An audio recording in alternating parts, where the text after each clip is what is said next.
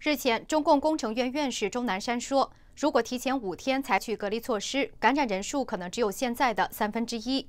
该说法引发舆论批评，分析认为这是在帮中共高层将责任甩给武汉市府。财新网三月八号报道说，中共卫健委高级别专家组组长钟南山的团队通过研究模型测试发现，如果湖北的隔离措施推迟五天，中国的疫情规模或超过三十五万人；若是提前五天采取隔离措施，感染人数将比现况减少三分之二。脸书专业说中国发文表示，习近平说他在一月七号就针对疫情下达指令，一月二十号共产党才认真看待，而武汉是到一月二十三号才封城。从七号到二十号，足足有十三日。如果提早了十三日，会减轻多少疫情？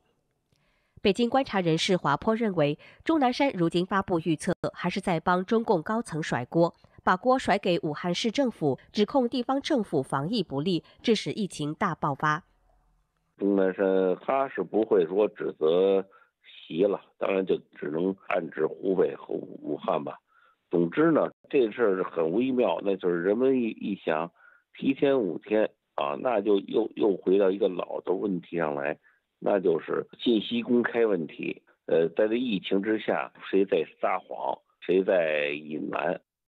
华波说，这也再次凸显了中央和地方在这次疫情当中的一种博弈和对抗。疫情过后，可能还会有人倒台。中国问题专家张健说：“如果疫情初期中共不打压八名传播真相的前线医生，不竭力去封锁消息，不谎称可防可控，不会人传人，也不会造成如此惨烈的横祸。如果中中共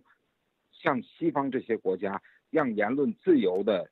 畅所欲言，不会因言获罪的话，那对于中国控制疫情其实起到了起。”非常大的一个帮助，而恰恰相反的是，从疫情的开始隐瞒，一直到现在的这种歌功颂德，让我们看到你最终丧失的就是人民的性命。新冠病毒疫情已经持续三个多月，如今病毒已经席卷一百零一个国家和地区，在各国忙于应对疫情之际，中共凭借数据造假和舆论管制，正在让疫情从大陆消退。而钟南山作为中共医学专家，多次错误预测拐点的到来。二月二十七号，他更配合中共抛出疫情。新唐人记者长春、李运、李佩玲采访报道。